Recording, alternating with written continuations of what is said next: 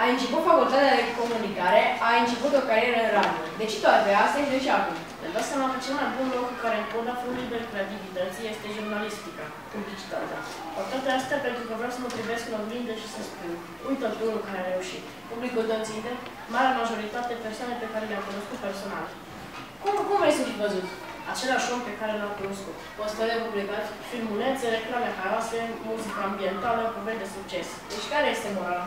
Oamenii trebuie să inspire oamenii. Da, foarte bine. Da. Da.